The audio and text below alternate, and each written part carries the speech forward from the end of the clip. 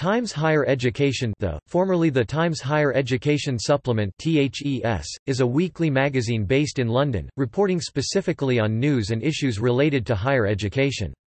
It is the United Kingdom's leading publication in its field.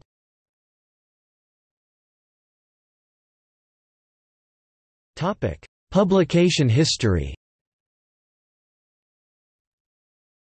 From its first issue, in 1971, until 2008, the Times Higher Education Supplement was published in newspaper format and was born out of, and affiliated with, the Times newspaper. On 10 January 2008, it was relaunched as a magazine. It is published by TES Global, which until October 2005 was a division of Rupert Murdoch's News International. The magazine is edited by John Gill. Phil Baty is the editor-at-large, and is responsible for international coverage. He is also the editor of the magazine's World University Rankings.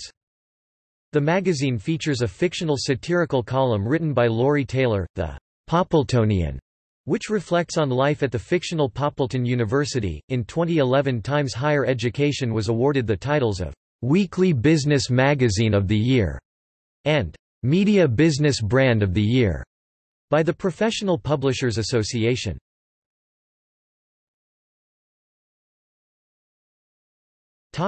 Times Higher Education World University Rankings Times Higher Education became known for publishing the annual Times Higher Education QS World University Rankings, which first appeared in November 2004.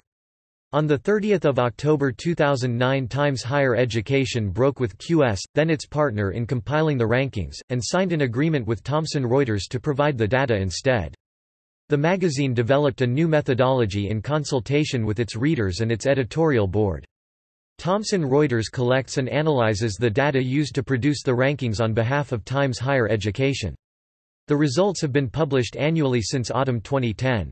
QS, which collected and analyzed the rankings data from 2004 to 2009, no longer has any involvement with Times Higher Education's World University Rankings.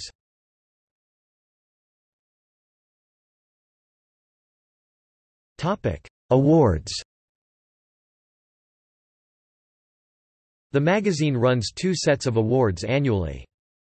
The first is the Times Higher Education Awards, the 2011 awards took place on 24 November at the Grosvenor House Hotel on London's Park Lane and received a record number of entries across the 18 categories.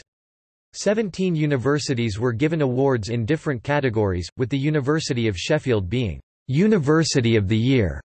Tessa Blackstone was given the «Lord Dearing Lifetime Achievement Award» The University of Strathclyde was named as the University of the Year at the 2012 awards which took place on 29 November 2012 at the Grosvenor House Hotel on London's Park Lane. University of Strathclyde Principal and Vice-Chancellor Professor Sir Jim McDonald received the award at the ceremony, the Times Higher Education Leadership and Management Awards. Thelmas were launched in 2009. The Thelmas were set up to recognize the impact that administrative staff have on the success of higher education institutions.